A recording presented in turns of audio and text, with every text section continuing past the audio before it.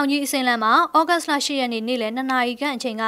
စောက်လုံရေးကားတစ်စီးကြောက်တဲကိုထိုးကြပြီးတော့ကားပေါ်မှာပါလာတဲ့သူ25ဦးအနက်မှာ2ဦးသေဆုံးခဲ့က18ဦးဒဏ်ရာရရှိခဲ့တယ်လို့သိရပါတယ်။ဩဂတ်စ်လ10ရက်နေ့နေ့လယ်2နာရီခန့်အချိန်ကတောင်ကြီးအစင်းလန်ဖြူပွိုင်နေရာမှာကြောက်တဲကိုကားထိုးကျသွားတာဖြစ်တယ်လို့မော်တော်ယာဉ်စီးကန်းထိန်းသိမ်းရေးတပ်ဖွဲ့ဝင်များကပြောပါတယ်။ တိမ်မောက်ခဲ့တဲ့ကားမှာတွားရော့ပြုတ်ကတောင်ကဘားနိုင်ရကိုတိုက်မိပြီးတော့ကြောက်တဲကိုကျခဲ့တာလည်းဖြစ်ပါတယ်။အဲ့ဒီဖြစ်စဉ်ကြောင့်တောင်ကြီးအစင်းလန်းပိတ်ထားကကယ်ဆယ်ရေးလုပ်ငန်းများလှုပ်ဆောင်နေပြီးတော့ရှင်တွေကိုအတက်လန်းကိုလမ်းလွှဲထားတယ်လို့လည်းသိရပါတယ်တနင်္လာရီလောက်မှာကားနေပြီးတော့မှကားမှောက်တယ်သူတို့တည်ရတာနဲ့ကျွန်တော်တို့တက်ချင်ကြီးအမီလက်ကားနဲ့ကျွန်တော်တို့ဆင်းလာပါတယ်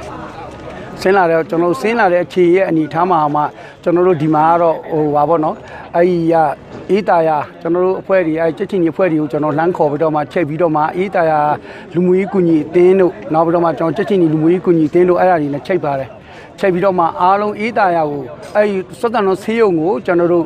၁၁ယောက်ပို့ပေးပါတယ်ဒဏ်ရာရသူ18ဦးကိုတော့ဆက်ဆန်တို့ဆေးရုံကြီးကိုပို့ဆောင်ထားတယ်လို့လည်းသိရပါတယ်။ ကားကိုညနေ9နာရီခွဲအချိန်မှာပေ30ခန့်အနက်ရှိတဲ့ကြောက်တဲကနေလမ်းပေါ်ကိုပြန်တင်နိုင်တာလည်းဖြစ်ပါတယ်။အခုလိုလူသေးတဲ့ရင်တိမ်မမှုဟာတောင်ကြီးအဆင့်တက်လမ်းမှာအခုနှစ်မှပြန်လည်ဖြစ်ပွားလာတာလည်းဖြစ်ပါတယ်။